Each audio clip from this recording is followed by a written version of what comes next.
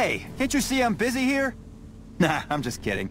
This has to be the most worthless patrol duty on the whole base. They never attack this gate.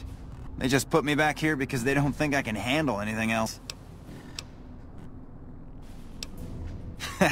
my reputation precedes me, I see. I pulled a few pranks in my time. Ah, usual stuff. Brought a Brahmin upstairs in the terminal once. They can go upstairs, but not down. Two heads and both of them dumb as stumps.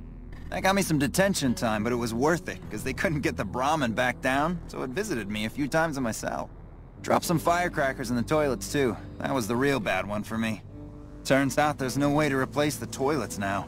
Toilet company blew up on the war. I think they'd just have shot me if they weren't short-handed. No kidding, what'd you cook up?